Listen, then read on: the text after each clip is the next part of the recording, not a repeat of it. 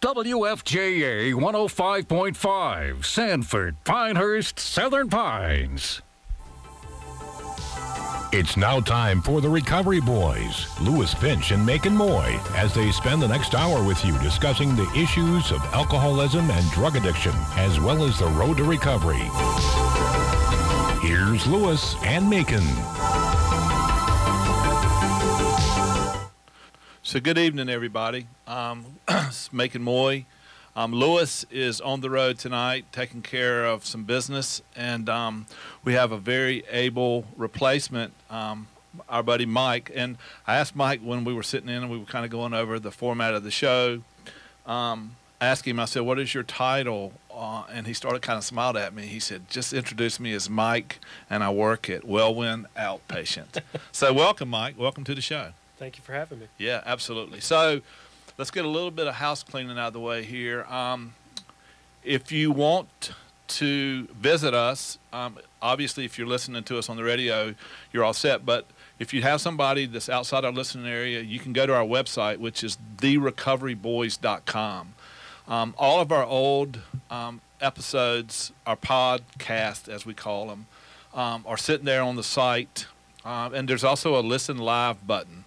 Um, if you have any interest in giving us a call tonight, um, anytime during the show, you can reach us at 866 465 3110. And we always welcome um, phone calls, conversations. Um, also, there's a on the website there's a there's a place where you can reach out to us via email, and um, if we don't have the answer tonight, we will certainly get it for you and we'll cover it um, in the following shows. Uh, we weren't on last week, uh, Mike. The Carolina Notre Dame game preempted us, and so we're working on being able to not miss these weeks at a time. But I'm pretty excited um, about the show tonight. Um, we have as our guest. First off, we'll we'll check in and we'll bring him on the line here in one second. We'll check in with uh, with our buddy Chris, who's um, in recovery and um, we're, we're going to talk to him the first of each show, just to say hey to him and you know find out how he's doing. Um, hoping that he'll continue on his road to recovery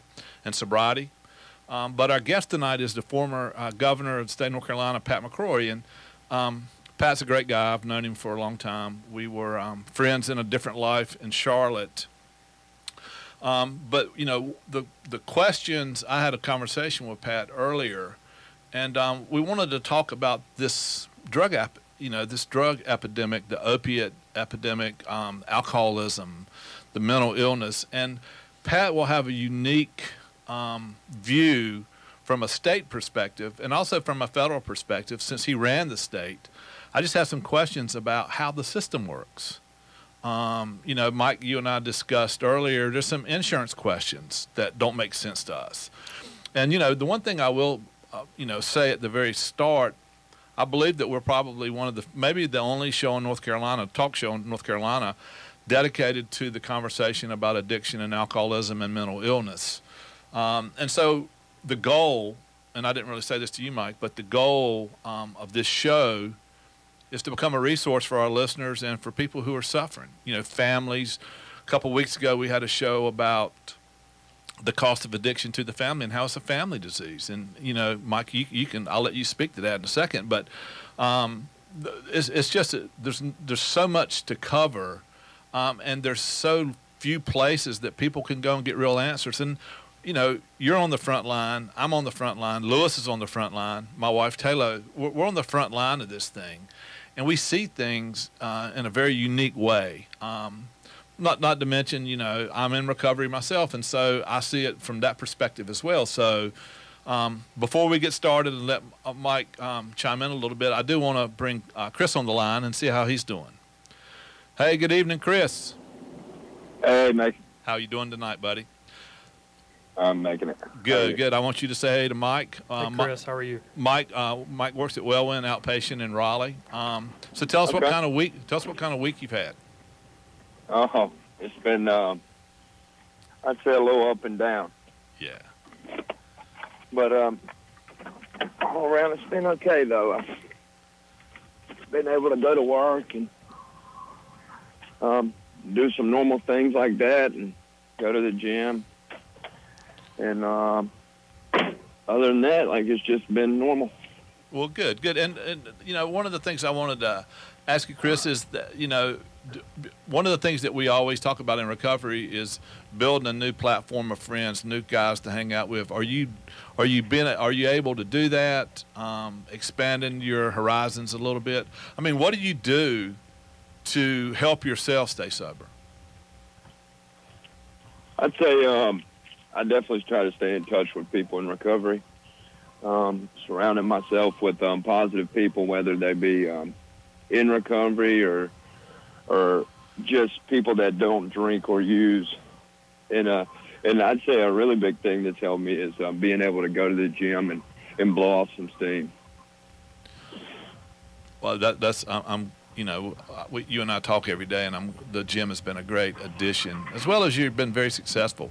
Uh, Mike, any questions for Chris? No, Chris, I congratulate you on the, the recovery time you have, and I know every day is a struggle. If you could give someone on the verge of making that decision, making a change, what would you go back and tell them? I'd say um, you, might, you might as well go ahead and get honest and tell it all, and um, and and follow directions. Has has that was that honesty? Was that hard for you, Chris? It it's definitely been um, the dishonesty's been one of the biggest things that's taken me out every time. It, it typically is.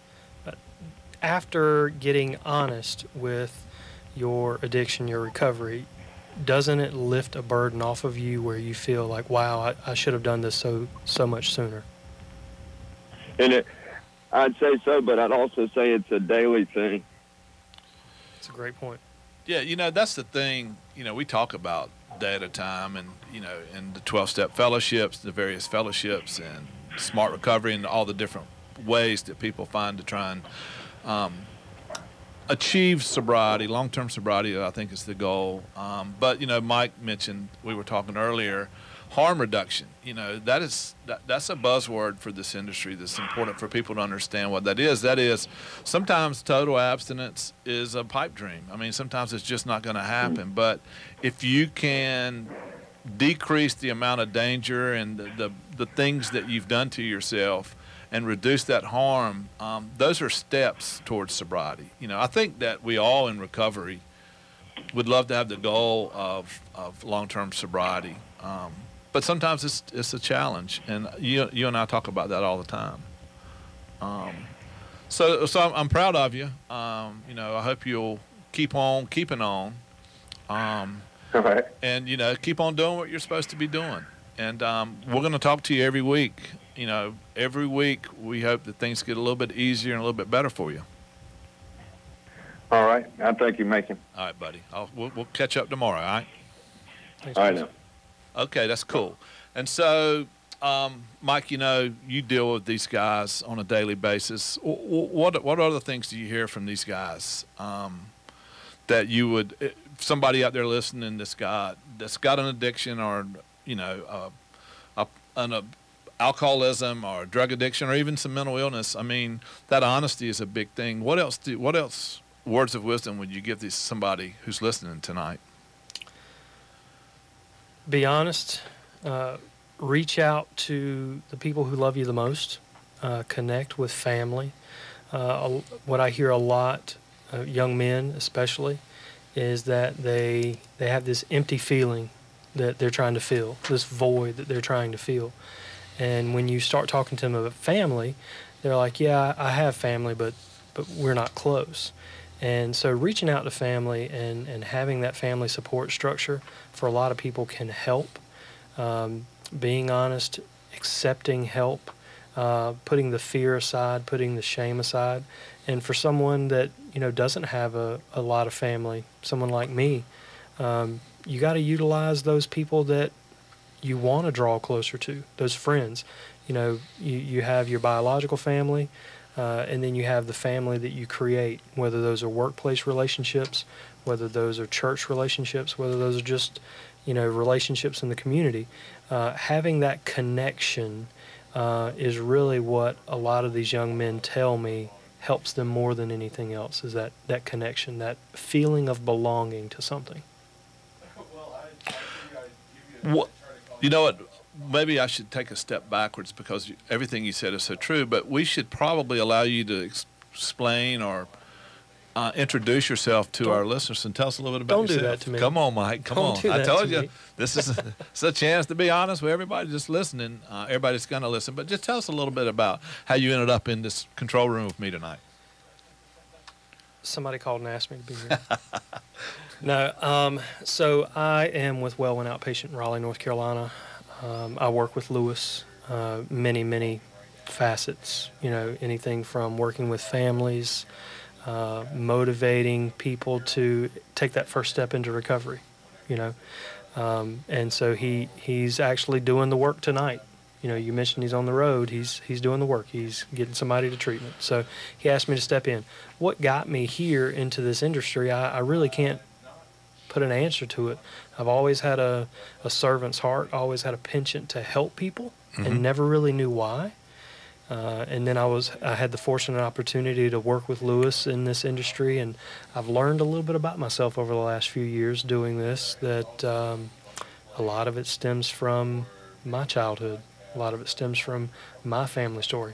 And while I'm not a person in recovery, um, I, I have a, a recovery story in my family. Um, you know, addiction hit my family hard. Uh, my mother's side of the family, my father's side of the family, uh, but not just addiction, mental health, depression. Um, it's it's hit my siblings pretty hard, and uh, I've watched it. I've grown up around it, and uh, I'm fortunate enough to be able to impact some change into people's lives now. It's it's um it's it's never a dull moment if you're going to be in this industry, and I think that having the heart of a servant is one of those things that is a prerequisite to thrive in the industry. Um, you know, you as you mentioned, you, you were impacted by addiction from a family perspective, and you know, a couple weeks ago we had that show on the cost. The cost of addiction to the families, and it really is a family disease, isn't it? It absolutely is. Uh, it hits families from from all angles. Uh, it's the, the the genetic component. It's the environmental component. Yeah. You know, you, you told me a little bit about Chris's backstory. I mean, from the age of nine, Yeah. being introduced to this, I, I can't fathom what his life has been like. Yeah, it's we had um I was in a discussion on Monday night about um self-acceptance and that's one of those things that he struggled with because he's really got no perspective other than what he's been around his whole life. That's right. And and so you know that's the thing. Um, and we we talk about treatment on the show a lot, and treatment's a big element of the road towards um, sobriety or some kind of normal living, whatever that is for everybody's different. But you know, one of the things that is, is for sure, and uh, especially given what you guys do at Wellwyn, um, treatment's the start of it. It's not the finish. You don't you don't get fixed in treatment. You get set up to be successful. But if you don't have a plan, if you don't have some plan in place, um, your chances of, of, of, you know, living in remission, because an addict or an alcoholic is an addict or an alcoholic for life. I mean, I, I'm, an, I'm an alcoholic and I'm a drug addict, and I'll be that way my whole life. But I'm currently living in remission because I have a good plan, a good program, a good plan. And that's what we try and do for the people that we work with. I know that's what you do. You guys do it well, and is that you try and help them extend that day-to-day sobriety that's so important. And it's funny, you know. I, I've got an addictive personality. I'm addicted to playing golf. I'm addicted to so many different things, and now I'm addicted to being sober. And you know that's uh, addiction. Addiction can, um, it, it can work for you um, but it has to be managed like anything else. And so, I'm glad that you're here tonight. I appreciate. Uh, I know Lewis is is is carrying the ball for somebody else, and I think that's amazing. Absolutely. Um, and he, you know, he's he's like that. So, but let's get on to um, the rest of the show tonight. I'm very excited about our guest. Um, it's a friend of mine. I've known I've known him for a long time. Um, he's the he was the mayor of Charlotte let me get my facts and figures, and I, we'll bring him on in one second here. Um, he was the mayor uh, in Charlotte from 1995 to 2009, and then he was our governor, um, state of North Carolina, from 2013 to 2017. His name's Pat McCrory. He's a he's a great guy. He's currently has his own um, talk show, radio talk show, the Pat McCrory Show. What's he doing on with Bo? Thompson? That's exactly right. I still, I still from the old days, and we'll talk about that a little bit when we bring Pat on here in a second. But we've been friends for a long time, and Pat's a wonderful guy. He's a he's a tremendous leader. Um, and when I asked him to be on the show and told him what we were talking about, he was quick to agree to because he sees firsthand the cost of addiction. Um, you know, I mean, he ran our state, so he, you know, he was aware of that problem. So let's let's bring Pat on and say good good evening to him and uh, and see how he's doing. Hey, Pat, how are you doing tonight, Governor? Hey, hey, friend, Macon uh, good to hear from you. Macon, boy. I'm proud of you too. What- I'm what- very, very proud of you. Well, buddy, I can't tell you how much I appreciate. It. You know, I was telling somebody, um, we uh, we've known each other for a long time. Back in my John Boy and Billy days, um, when when you know Pat was the mayor, I'm telling you, we had some good times, and he would come in and he could hold his own with John Boy and Billy, and there's not very many people that could do that.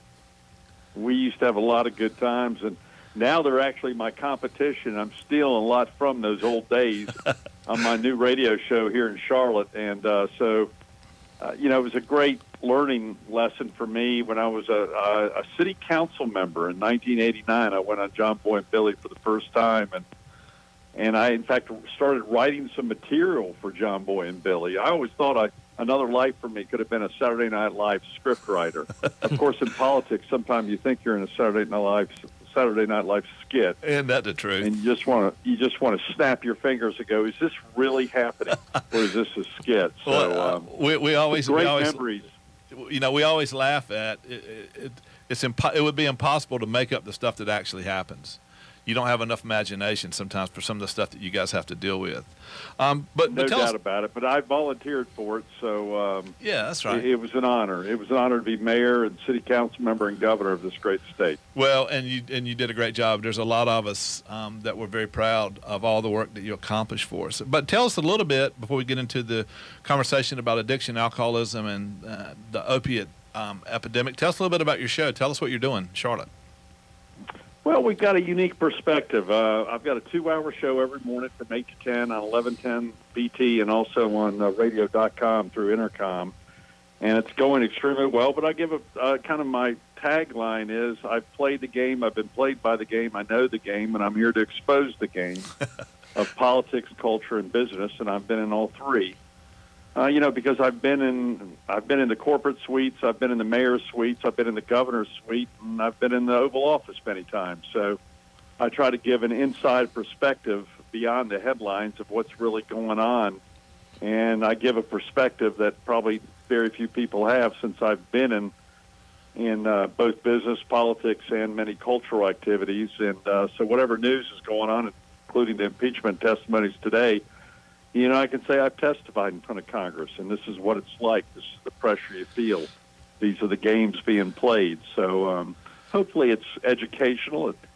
I attempt to give all sides of the story, and we also probably do 20% humor.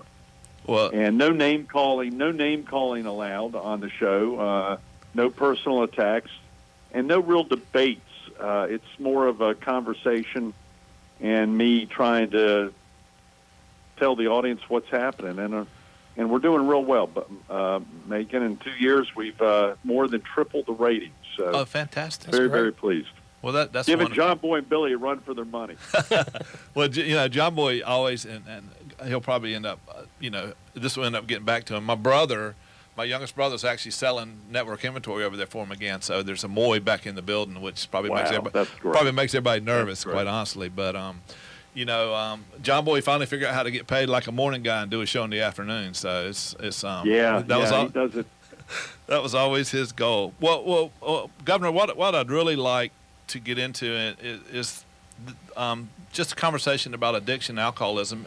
One of the things I think I told you, I think we're probably the only show completely dedicated to this subject, and you know we do it from uh, a series of different I mean, different sides. I'm, as you know, I'm in recovery, so I do it because I always learn more about my disease. Um, we do it to help the, the people that are still suffering, but there is um, a lot of information that we just don't have access to, and I wanted to bring that part of the of the business, if you will, um, to your attention tonight, and just ask you um, because you've had a unique view of the disease from an administrative perspective. Um, you know, you, you guys must have seen it, and I, wanted to do it not only just from from the state perspective, but also city of Charlotte. I mean, I mean, you know, uh, homelessness, drug addiction, alcoholism, crime, all the things associated with it. Um, it it's continues to grow. I think, that, um, if I remember your comment to me, uh, it's one of the biggest things facing us as a society today. I think it's the number one thing facing a society today. In fact, I mentioned that in my very first State of the State speech that addiction and mental health also are our number one issue. And I got like three claps in the audience, but four years later, I think a lot of more people realize that's a very serious issue. But when I was a city council member uh, back in the early 1990s, we were having a huge drug epidemic of uh, crack cocaine and heroin and that was really the beginning uh, in our nation of just a major drug epidemic in addition to alcohol. And, you know, Charlotte was averaging 125 murders a year in 1993, 94, and 95. And I became mayor in 95. And, you know, if you do any minor research, 80% of it was drug or alcohol related. Um, either do with dealing or dealing with people with addiction or mental health or homeless or domestic violence and you know, a lot of the people in our prisons and our in our county jails, probably eighty to ninety percent have addiction issues. Yeah, they do for and, sure. Um, so you know, this has been following me in every political position I've had from 1989 all the way to my last year as governor, where um, you know I, I've seen families destroyed, individuals destroyed, people lose their lives. Uh, people lose their marriages. People lose their children. People get killed uh, automobile accidents, and um, you know there's so many, and the cost of addiction is just enormous to not only the human tragedy, but the uh, the tragedy of how much money is being spent as a result of the addiction issue. And one of the first things I realized as governor is, you know, we have almost no beds for addiction. You know, the emergency rooms are becoming the beds and people are just sitting in there, and uh, or county jails and state prison are becoming the beds for addiction. And um, you, you know, Governor, it's, it's I, I, I, I, wanted to challenge. stop. I wanted to stop you on that because I want to expand on that conversation because we're in two small counties: Lee County, Moore County, Richmond County, um, where we don't have you know, there's no homeless shelter. There's certainly no recovery center. Some of the bigger cities have uh, developed that, but what what you say is so true, and we struggle with that um, conversation. But this isn't just an yeah, this isn't just an urban issue. It is a small towns have it. They might hide it a little more, but you know, there's there's a major uh, you know from heroin to alcohol to um, the meth is so serious now. Yeah, um, it's everywhere. There's no family that or neighborhood or school that is escaping this and we've got to confront it head on. Well, you know, the I've talked to both the sheriffs, and you know, their deputies are not trained to deal with. And mm-hmm. you know mm-hmm. what? The local county jail is 25 degrees tonight. It'll be packed with drug addicts and alcoholics because there's no mm-hmm. place for them to go, and they'll start detoxing, and it becomes a medical issue. And you know, hats off to the deputies, you know, and the sheriff because they are dealing with a product with a pro a problem they've got no training for. And you know, I we continue, I think, to put band-aids on this, and it's it's. I don't know. I, I guess my question to you is is what are the conversations like at the highest levels on how to build some kind of measurable plan to address these issues? Well, first you've got to develop some short-term strategies to deal with the crisis, and when I was governor, for example, in my first year, we started opening up um, uh, drug courts and alcoholic courts. You know, so people who were obviously arrested while under the influence, we set up. I I don't have the exact number of courts that we set up, but I went to a grand opening of a court in uh, Fayetteville, where we had a lot of military people being arrested in addiction, and uh, and we try to put them in rehab and help their families, and realize the first thing you can't do is throw them in jail. So, you know, we put a major emphasis on those that are immediately in trouble. Um, and then the next thing we, I try to deal with, and I had an incredible Secretary of Health and Human Services, a doctor by the name of Aldona Wos out of Greensboro. She set up, I, I put together with her major leadership, I got in the room within my first five months in office, all the court system people, all the public safety people, all the hospital people, um, you know, you know, there's so all the mental health people, all in a room so we could share information. We tend to be in silos, all dealing with the same people, but there's no comprehensive plan for individuals with a problem. And part of it, by the way, the insurance issue, part of it's the hospital issue. There's no one talking to each other. And of course, as you know, when someone is addicted, um, they know the system better than anyone often. You know, you'll do anything to get your drug, including abusing the system.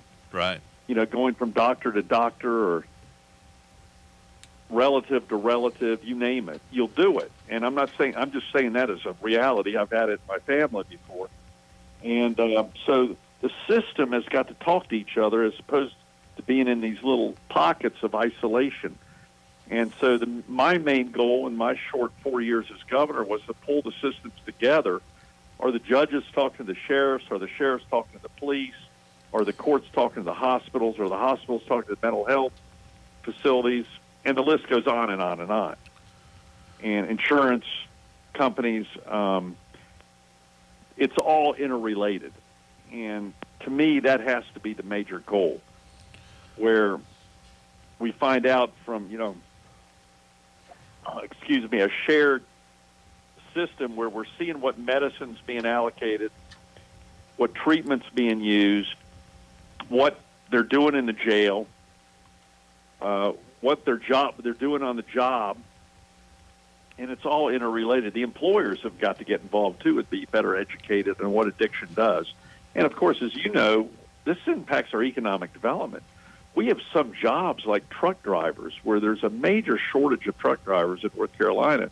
And one reason is because of addiction. Hmm. We can't find people to pass drug tests. Yeah. We, we have problems in recruiting police officers and, and the highway patrol because they cannot. We've got so many people in communities who want to become one, but they can't pass drug tests. Even when we tell them there's a drug test, they don't pass it. And then we have a lot of people losing their jobs due to addiction. And then they can't get their jobs back. Part of that is because of legal issues. People are afraid of lawsuits. And the other issue is the stigma of, quote, being an alcoholic or being addicted. Yeah. And um, employers don't want to take that risk. So it's such a complex issue that um, is also econ- impacting the availability of a qualified workforce. I, I could see that, and I, I wanted the the drug court thing is, is a big deal. We're trying to get a drug. We'd love to get a drug court in Moore County, Lee County. There's, I believe, there's 18 drug courts in North Carolina as of last That's week. correct. You know, That's- so so we, we, yeah, we I think we had 12 when I was in there. So I think they're expanding, and we we set up a plan to expand. As I, I got the funding for the initial drug courts, and I'm very very proud of that. Listen, you should be there. I I have a, a friend of mine, that's a judge down in Augusta, Georgia, who runs the drug court down there, and he's got facts and figures that would make anybody who doesn't allow drug court just appear to be uncaring. I mean, the it keeps people from going back to jail, and, and it doesn't ruin their life if they've made one mistake. Um, and so Right. I, I, I applaud you for that. Um, but who was there one person? Um, was it? I mean, from a power perspective, does anybody in the state today, or even in the federal government, for that? I mean, we all talk about it, and the conversation has become much more open. Um, I think that the social stigma is reduced some, but it's still people are still embarrassed.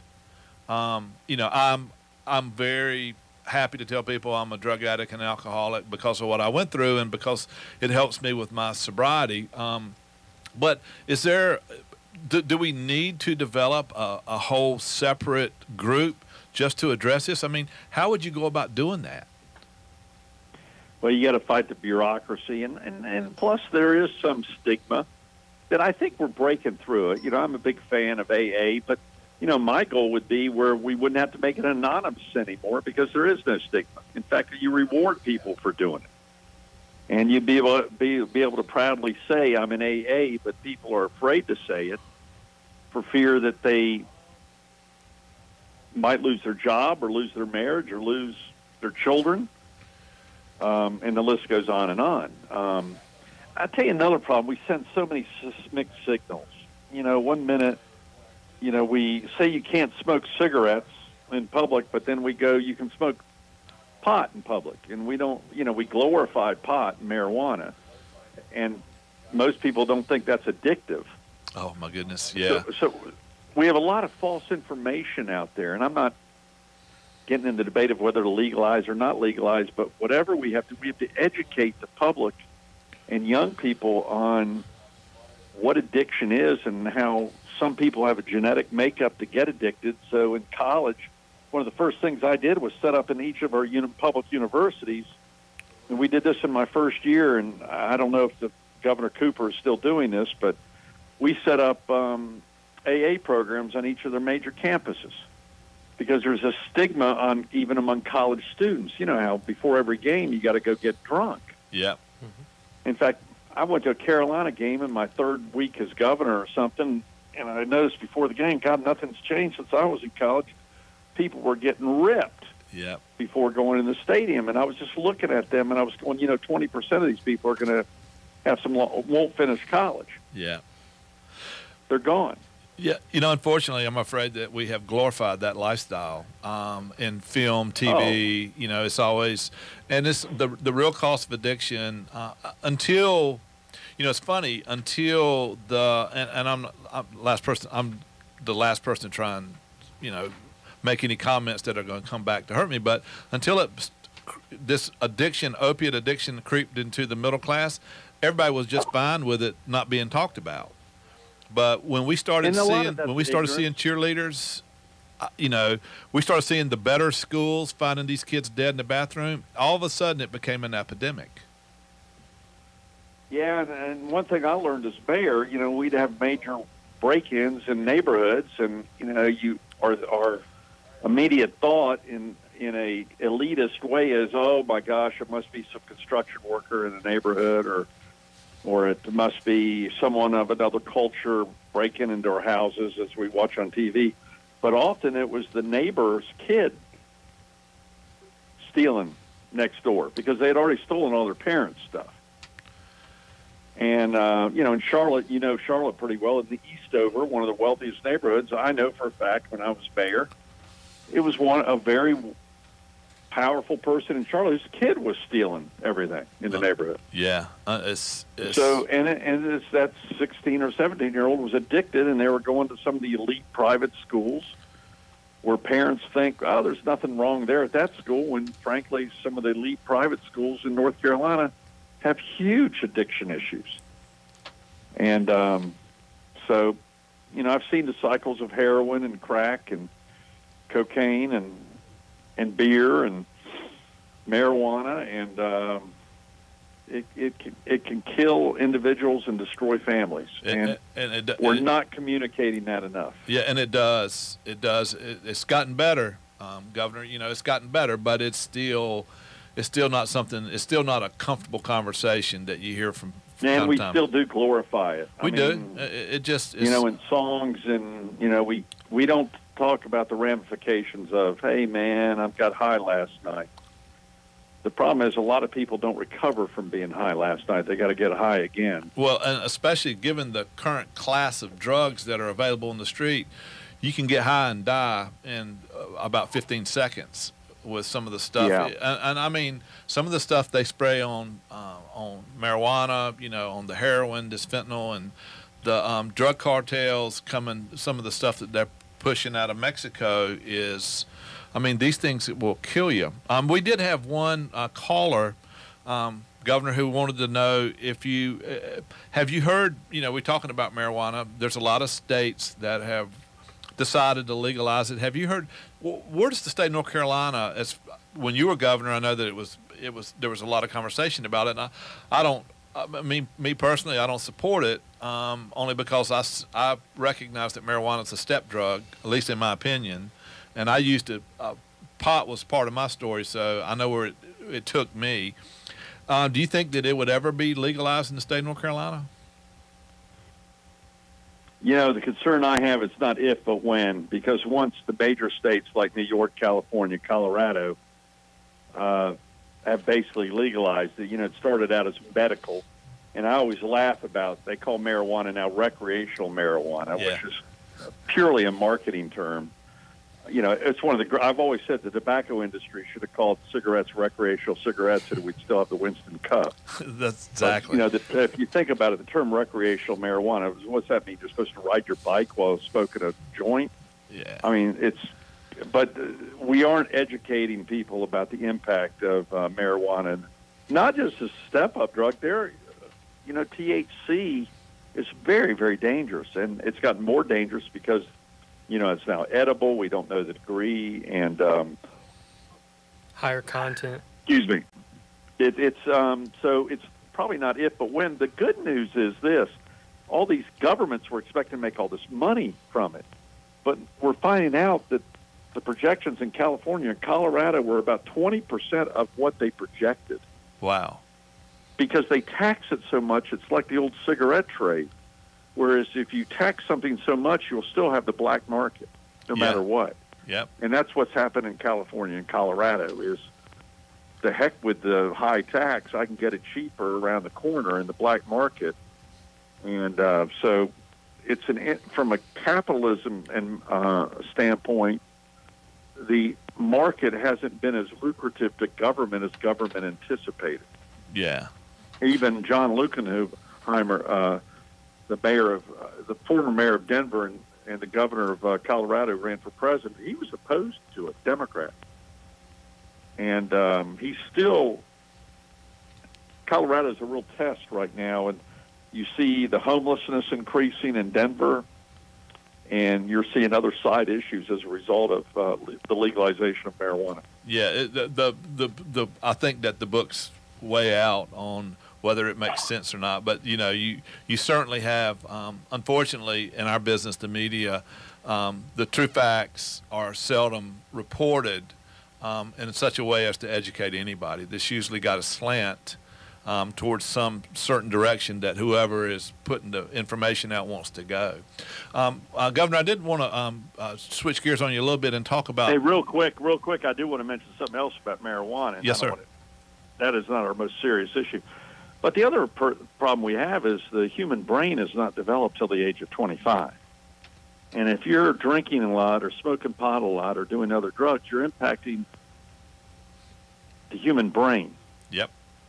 And the long-term ramifications of that are very serious for our mental health system, which is 25% of our state budget right now. Wow.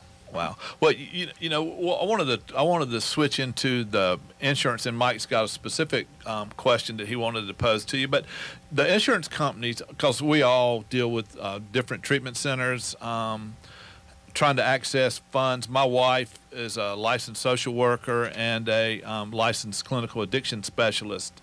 And um, her job at the First Health in Pinehurst, she she works at the detox, trying to get people approved. And her job is less about taking care of the individual and more negotiating with the insurance companies, specifically Blue Cross Blue Shield, which seems to control so much of the state of North Carolina. Um, but but we, we wanted to ask. I'll let Mike explain it in, in a way that I'm sure you'll understand because we just we talked about it early and we were trying to figure out. At the end of the day, insurance controls treatment. It it, it just does. So, Governor McCrory, my, my question, I'm not really going to ask it in a question form, just kind of have an open conversation and, and you know, maybe you can speak on it. Um, in the media recently, there's pharmaceutical companies that are being held accountable and paying restitution to state governments to support the opioid epidemic. Um, at some point, there are people in the community that feel like insurance companies uh, need to be called called in for the same things. Uh, they approve the claims, they approve the medications to be paid for by insurance. But then you see stories in the media about a family that has lost a loved one uh, post treatment. Someone accepts treatment, goes to treatment, and because they may go to an out of network provider, restitution monies are paid back to the policyholder not to the institution that actually treated them, and that's directly tied to someone getting uh, checks in, in amounts upwards of $10,000 and going out and using, and there's a loss of life. Has there been any discussion, or should there be any discussion on maybe insurance should, you know, open up to paying out of network providers directly to keep people in early recovery safer? Oh, I think you raise a great point. I think you've answered your own question.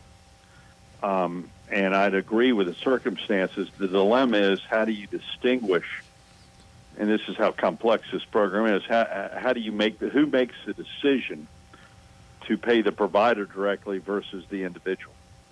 And, you know, we see this in the national debate regarding health care who is the arbitrator and who is the final decision maker? Is it the doctor? Is it the individual? Is it some committee? Is it government?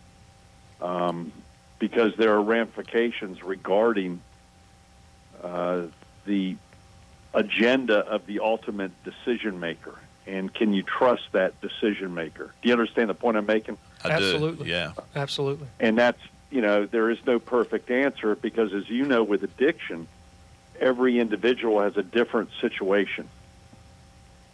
Um, you know, it's like homelessness. Every story is different. And that's the difficulty. And when you're talking about large bureaucracies, whether it be government or the hospitals or or uh, insurance companies, they tend to group people. And the question is, you know, what grouping are you put in without your notice, and how do you appeal that grouping? And you know, this gets into lobbying and politics and turf and money. I mean, there's big money in this too. Uh, there's huge, huge money, money, huge, mm-hmm. huge money, huge money. I mean, it's bankrupting government right now. I mean, we for mental health, as you know, a lot of the people, you know, addiction and mental health, it's a it's a fine kind of chicken and egg situation for many people. The amount of beds that we have for mental health patients in North Carolina is so small. Yeah. And we just have waiting lists after waiting list for this. So the cost is just tremendous. And then the question is who pays for it? So, um, you know, we all pay for it. I believe when when history looks back on us in a hundred years, our treatment of the mentally ill will be the darkest mark that we receive as a society because people just want to act like it doesn't exist. Um, and, and we've created a lot of it too. We and uh, we listen. We will continue to. I mean, Mike and I were talking about anxiety. You know, typically somebody that's in addiction or alcoholism is med- medicating themselves because they have some mental illness sure. issue. As you know, social sure. media has brought in a whole new. Uh, the anxieties that that has created has has caused the medical community to start to actually diagnose it as a disease, and so it, will only get worse. And then I, I don't know, um, Governor. I mean, you had in the state of North Carolina, is that the insurance commissioner that tries to grapple with that issue? I mean, no, who, who discusses well, that? It's primarily the Secretary of Health and Human Services. Okay. For the state of North Carolina, which, by the way, the budget for the Secretary of Health and Human Services is about $20 billion, including federal money. And again, about 60% of that funds is due to mental health. Wow. I mean, it's just, it, it over, it was the most overwhelming problem for me as governor because um, of the complexities and how everyone says it's someone else's problem. Yeah. And then you got a lot of people making money. I mean, and uh, you know, from profits to nonprofits to uh, trial lawyers, class action lawyers. You know, you know, you get a big settlement, you sue a drug company, you got to find out. what- You know, we found out with the tr- tobacco settlements that were done in the '80s. You know, you had you had a lot of people make a lot of money off those class action settlements. Buy a lot of yachts who, you know, would take a 30 to 40 percent cut of hundreds of millions of dollars. Wh- And what- so you got to ask yourself if you do class action settlements, whether it be against the insurance company, which they're challenging now, rightfully so, where does the money actually go? Or is it just all go to? Is a large percent of that money just going to go to uh, the overhead of the lawyers becoming extremely wealthy? Yeah, uh, that was my my question is how does you know for us in the in the industry how does does the money ever actually float down to the treatment level to the people who have been harmed the most do they ever benefit from it directly Yeah, the question is how much. It's just like true with any charity. How much actually gets the delivery system through the bureaucracy and through the politics? And I'll, and I'll tell you the other issue. God, there's so many issues, and um, there's no one single answer. Is who controls the information and the data? I had major issues with that as governor. Uh, you know, does the insurance company hold the data? Does government hold the data? Does the individual have the data? because data is very valuable right now. And uh, how confidential is all data? As we, you know, one one of my solutions is we've got to share data. But when you share data, you're also challenging the confidentiality of, of an individual's right to keep things quiet. Because then that could impact your insurance in the future and other things. This is a very complex issue with no single answer. I think the first answer is we've got to be honest about what the problem is, and we're still, as a society, not clearly communicating how many people in society actually have an addiction issue and taking the stigma off it. well I- And as you know, boy, Nathan, there's no, you know, the success rate of recovery is still so low. It's gotten better, but as you know, uh, it's still rather low by percentages, yeah. Even when we get people to the right place. What what's gonna I, I you know I think what we see in the smaller communities and probably even in the neighborhoods in the bigger urban areas is it's going to have to be considered somewhat of a local problem. It can't be fixed by a big government apparatus because there's just too much.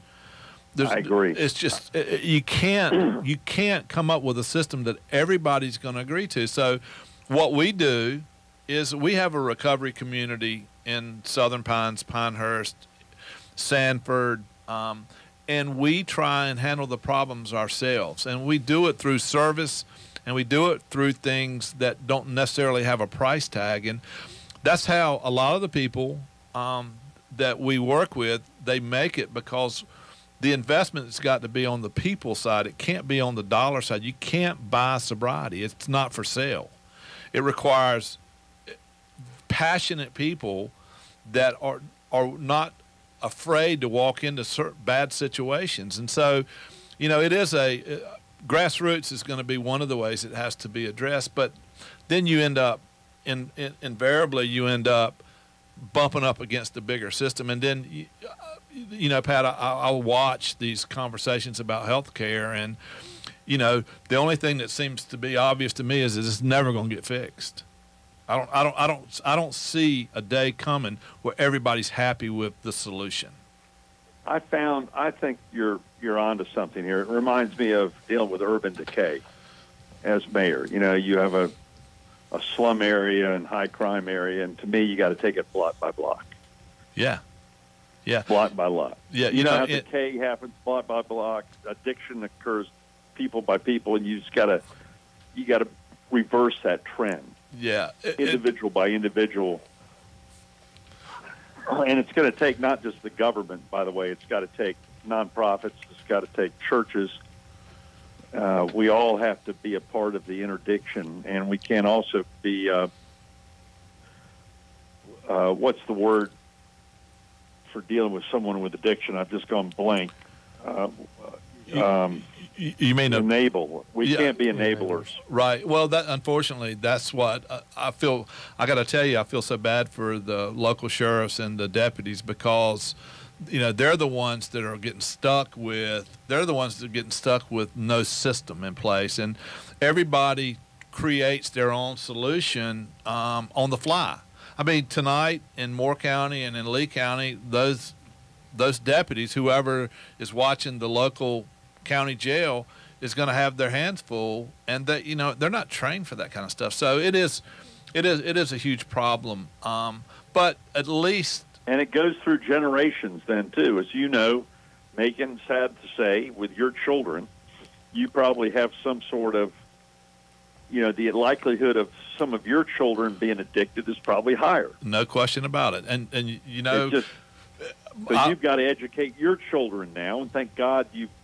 I'm so proud of you. I'm so proud of you. well, I, I appreciate that. You you saw And me. Next battle is with your children to make sure they don't make the same mistakes. But the likelihood from a genetic makeup is, you know, just like with me with Alzheimer's, my mom had Alzheimer's, and you know, it, it, some of this, as I've learned, this subject is is genetic, um, and more. Some people are more apt they, you know, I I'm fortunate I can have one beer and stop. yeah, you're normal. That I don't know if that's normal or not. Uh, Maybe, but you know what? I'm abnormal. Well, you know what? Unfortunately, it's considered because of the glorification of cocktails and lifestyle and all the other Sure. stuff. Is it's not considered normal. But I will tell you this, and I'm not saying. I mean, this is certainly no blanket statement, but it's getting to be a little bit cooler to be sober. There's some there are people coming out. There I are there are recovery movements that you will see, and they will gain uh, strength um, because the it's life and death. You know, Governor, it was always life and death, but it's reaching a better class of people, if you will, and it's really I starting. agree with you. It's really starting to catch people's attention that. You know, it's it's it's the the head cheerleader who they found in the bathroom with a needle in her arm and she's dead from a heroin overdose. That's not that didn't happen 20 years ago, and it's happening today. Right. So Well, you know, the other thing is, you know, it used to be where you know I'd be at a college party just like everyone else, and everyone's trying to get drunk, and some people would say, you know, I'd say have a drink, and they go, no, no, come on, you wuss, have a drink. And now when I hear someone peer pressure someone else into having a drink or taking drugs, I really I inter I intervene yeah, as a third party. I go, stop it. That person doesn't want to drink. And think of all the parties you want to where they just pump alcohol. oh, you know, I had fundraisers where, you know, the minute you walk in the house and they give you a glass of wine. But now I'm noticing they're offering wine or water, and you're not embarrassed to take the water right. And it's being accepted. And I think that is, you know, it's kind of like the old Mothers Against Drunk Driving. We almost ought to use their model, where the mothers kind of lead the charge. When you and I are about the same age, when we were in high school, driving drunk wasn't even re- looked down upon. Oh, I got drunk last night and drove drunk. Oh, that's funny. Yeah, badge of, The was a mothers ba- for badge drunk of courage. driving put a shame on that. Well, that, that, you know what? That's the truth. But I will tell you, there are some communities I, I can think of. Uh, Asheville's got a great recovery community. Uh, Wilmington. I agree. I, in fact, I've given, I've, I've, I've uh, been to the homeless shelter there in Asheville, and also they've got a great recovery center there where my wife and I have helped when we were governor. Personally visited many times and gave donations to. You know, the Charlotte shelter here, the men's shelter here. They're not just putting people in the shelter, but they're looking at recovery now because Right. they realize so many of those men and women, you know, and now, when I was mayor, I don't know if you remember this, Macon, but I got people got furious with me when I tell don't give money to the homeless. You know, when someone asks you for a buck, don't give it to the homeless, give it to the homeless shelter Right. That's or right. the Salvation Army, someone who's going to help. Because if you give it to the person directly who's begging on the street, you know and I know that's going straight toward a liquor bottle or drugs. Yeah, it is for a fact. It is for a fact. Well, listen, Pat, we're, we're, we're, we're running up against the end of the show, but I did want to ask you one question, give you a minute or two to, to address it. What's next for uh, for Pat McCrory? I'm kind of going through that assessment right now. I, I went through a big change of uh, losing my job, and you know we all go through losing your job, and you got to go through the grief period of that, and the change of that, and your ego of that. And it's taken me a while to go through that, just like we all have had. You've had to go through that, right, Macon? Absolutely. so I've kind of gone through that process, and I'm getting my feet back on the floor and getting back up and holding my shoulders up and say I was proud of the work we did, and now I'm trying to figure out the next steps to be relevant, to make a difference, and leave this state and our society a better place than when we arrived. So I'm looking at a couple political options, and in the meantime, I'm having fun doing my radio and doing some business. But I hope this isn't my last. Uh, the governor's job is not my last job. Let me put it that way in public service. Well, I, listen, I'm. I mean, from a personal perspective, I'm glad to hear that. It's nice to know the people that you vote for, and um, I, I certainly know. Uh, I know enough about you that when I would cast that ballot for whatever it is, I'd feel good about it. So, um, Uh, you're kind, and the only thing I've had to really adjust to, I had to learn how to drive again. um, I didn't drive for four years, so it, stay away from me on the road. I'm a terrible driver. well, let me ask you one other quick question. How's your golf? It's terrible. and I still remember a piece of advice you gave me, and I'm going to have to go back and remember that. I remember you said, well, I can't say it on the radio. People will take it at it. But you, you told me how to move one part of the chest to the other part of the chest. I'll never forget this. You told me something 20 years ago on the driving range, and uh, I'll never be as good as you. Let me tell you that. So, Well, listen, uh, and and are you still playing golf over at the park? You, you, you, you, I am. I can still Uh, you. I I can still still see you and Bob Lacey, and um, I'm trying to think. You had you had a great foursome that you used to yeah, play I had a with. great Jim Rogers and Charlie Smith and Bob Stevens. Bob who Stevens. ended up being my chief legal counsel in the governor's office. Yeah. Well, well, listen. When you see them, tell them all I said hello if you don't mind. I And- will, Macon. I'm, I just want to say, keep this program up, and uh, you know, people need to talk about it more. You know, the people who aren't going through addiction and don't have family members dealing with addiction, they're naive. That's and right. It's not their fault, Yeah. Or they're not being honest about it.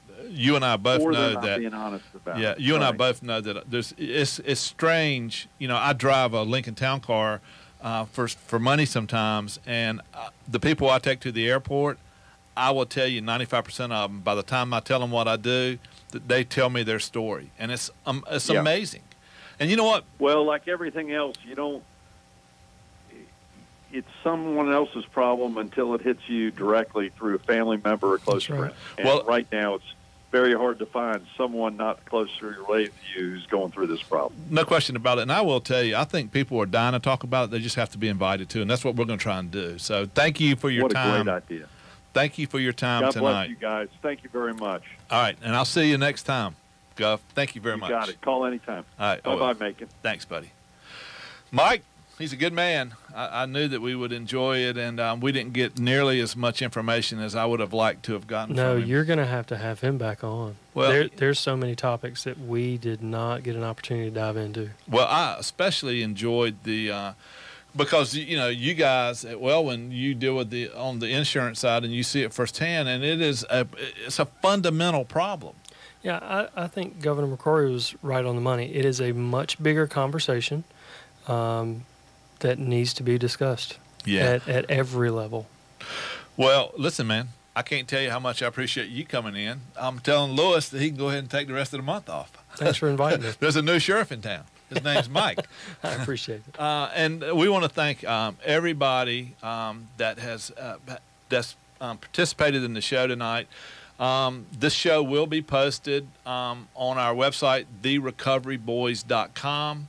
Um, please reach out to us with comments, questions. Um, if you want to give us um, your ideas on what our next show, maybe somebody that we could bring in as a guest that you'd like to hear from, um, we would love to do that. I'll be honest with you, I'd love to get into a little bit deeper conversation about this whole marijuana thing because it's so topical right now.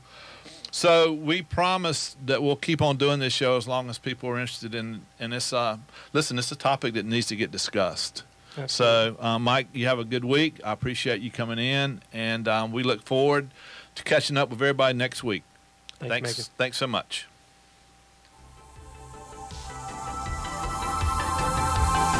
You've been listening to The Recovery Boys on WFJA. Visit the Recovery Boys website at therecoveryboys.com. We thank you for listening to The Recovery Boys.